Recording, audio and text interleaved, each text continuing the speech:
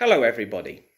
Nazywam się Mateusz Jarosz i uczę języka angielskiego w liceum ogólnokształcącym Pryzmat.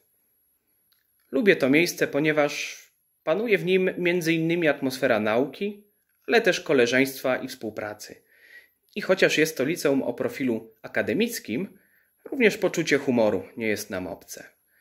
Jeśli chcielibyście przygotować się do egzaminu z języka angielskiego na poziomie rozszerzonym, ale też między innymi dowiedzieć się, dlaczego czas przyszły w języku angielskim z formalnego punktu widzenia nie istnieje, zapraszam na lekcję do naszej szkoły, w której język angielski jest jednym z przedmiotów wiodących.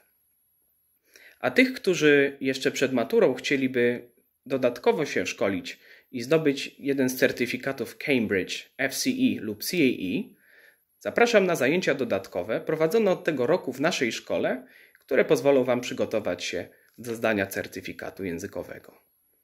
Hope to see you soon. Bye.